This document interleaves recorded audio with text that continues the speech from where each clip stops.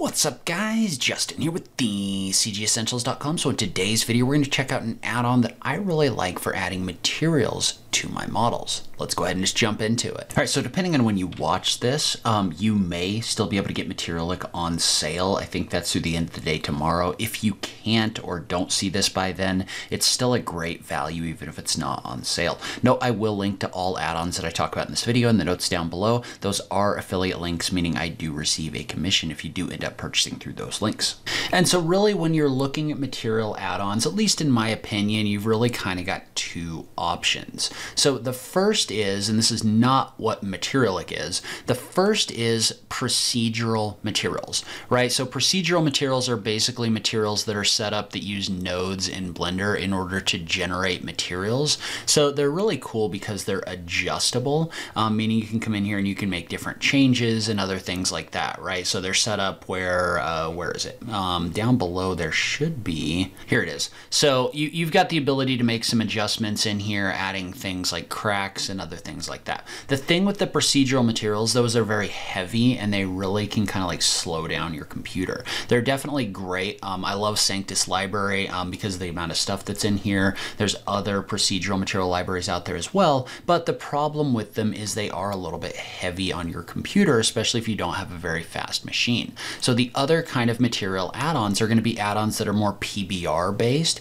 meaning they're going to use more uh, material maps in order to generate effects. You can still adjust them, but not in the same way as the procedural materials, which I actually think is a good thing because it means they have better performance. And so in this case, Materialiq is one of those add-ons. I use this add-on a lot for adding materials in my model. It has not only a great material library, um, and what I like about it is it has multiple different kinds of materials, right? It's not just like one thing. It's a bunch of different things contained in a collection. But it's also got tools for setting up things things like displacement, which we'll take a look at in a minute. So anyway, Materialiq is a tool for adding materials inside of your model. And um, there's a few different options that you can get with this tool, right? You can get the starter pack, which is gonna be super cheap. Um, and it's gonna have a few materials in here and some HDRI images as well as the tools. And then you've got other options to get like the full library up to 8K resolution, depending on the resolution of the materials that you need. So if you don't need super high resolution materials, you can get the less expensive version right here. So one of the things that's with the polygoniq guys is they've basically transitioned over to these add-ons, right? Botaniq, Materialiq, Traffiq. Um, these are all now asset collections that you can bring into Blender. And then you use a tool called engon, which is a free add-on that they have um, in order to control your different materials, right? It's got its own asset browser. It's got some other things in here as well. But basically what that means is that means that you're going to need to download the asset pack files as well as the engon browser and install that in Blender. But let's jump over and take a look at some of the tools that are contained inside of this. And so we're gonna use this Italian flat model from Flavio della Tommasa that you can download from the Blender demo files page in order to kind of take a look at the way that this works. So if we jump over into Blender, what you're gonna wanna do is first off, you're going to want to make sure that you install engon. So engon is available for free through the Blender Market. And then you want to make sure that you install and enable that. So I'm going to look for engon right here. And then within engon, this is going to give you the ability to install the asset packs. So this is basically going to take the Materialiq asset pack file and it's going to install it inside of Blender. And then once you do that, what that's going to do is that's also going to set it up um, with your asset packs so that you can access them from within the asset browser. So first install engon, then go through and install the asset packs for Materialiq. Once you do that, what's going to happen is those materials are all going to show up in your Blender asset browser down below. So you can go to the asset browser, then you want to select the option for Materialiq Full right here, or whatever version you have in order to bring those in. Now, one thing to note is engon does have its own asset browser. So, and I'm going to drag a new window in here real quick. Um, but you can click on this and then you can set a window to show the asset browser. You can click in here and you can also filter and look at all of these materials using their asset browser. So the plus to this is within their asset browser, you basically have the ability to do more filtering and other things like that. Um, but in general, I find myself using the Blender asset browser. So we're gonna close out of this, we're gonna close this window and go back into this view. So what I like about the material materials is they're very simple, right? So let's say we wanted to add a wood floor to our floor. So notice how if I click over into the wood section right here, there's a number of different woods. I can just click and drag this into my scene like this, right? Super easy, don't have to do a whole lot of work, anything like that. And that material is going to be all set up. And so say I was to look at the nodes for this tool, right? So we're gonna go into the shader editor right here, and I want the node that's in here. Notice how this is all set up already um, with all the different mapping, the other things like that. And this is actually a pretty complex setup. Well, the cool thing is within engon, if you scroll down into the material setting, notice how there's actually options in here to adjust things about that material.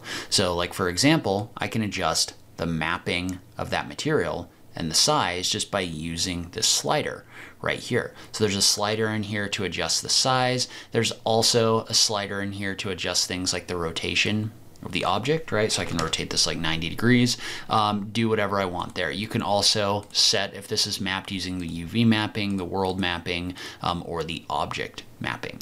Um, and so this makes working with materials really easy. So let's say, for example, on this wall, I wanted a brick material. So I'm gonna jump back into my asset browser. Well, there's a number of different wall surfaces as well as brick and stone materials. So say that I wanted to bring in like a plaster, I could click and drag that onto this wall right here. It's going to take a second to compile that shader, but then that material is going to show up in here. And again, I can adjust things like the scale. Whoops, I want to make sure that I actually have that object selected, but I can adjust things like the scale of that texture really easily. But then say that we wanted to add something like a brick over here. Well, I can click and drag a brick material, and these are all contained inside of this asset library, so they're really fast to bring in here, right? So I can bring these in, I can make adjustments to them um, using this tool. And so one of the cool things about this tool is you can also use this to quickly add things like displacement. Now, one thing I will say is you want to be a little bit careful with this, like the way that this model is set up, for example, um, if I just try to add the displacement right now, uh, it does a bunch of funky stuff and your model might crash. Um, so what I want to do instead is I just want to take this geometry and I just want to separate it into its own geometry just to be safe. And I'm going to save before I do this as well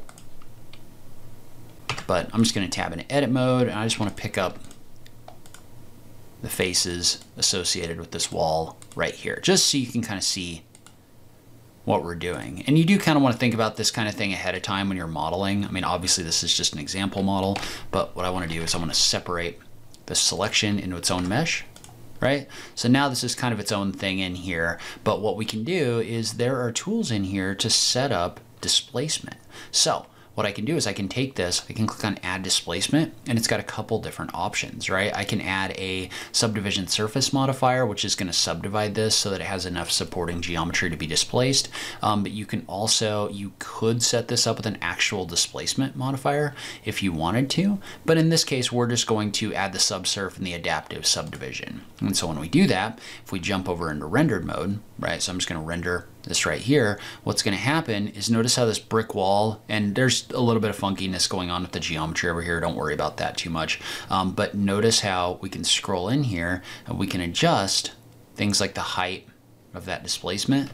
And obviously we'd want to keep this kind of small still, but this is basically automatically setting up our displacement for us, um, which is a huge time saver because otherwise you have to kind of like screw around with that yourself, which is not my favorite thing in the world to do. And again, we've got some geometry overlapping over here. Don't worry too much about that for this example. But um, I mean, that's what I really like about this tool is it just makes this whole thing really easy. And so one other thing I like about this, and we're just gonna pick a simple plane and just move it over here, just so you can kind of see, is within this tool, and let's pick up something like maybe a stone or a ground material. So a ground material would probably be good. But if I drop this onto this material right here, we talked about the displacement. Well, notice how there's an option in here to add the displacement modifier in here. So if I add the displacement modifier in here, and I think this needs to be UV mapped, so I'm just going to right click and we're just gonna do a simple cube projection.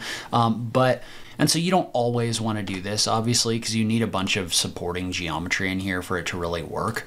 Um, but notice what this is going to do and I'm going to subdivide the whole thing just so it has a little more geometry to work with. But what this is going to do is this is going to actually add a displace modifier in here, and we want this to be fairly minor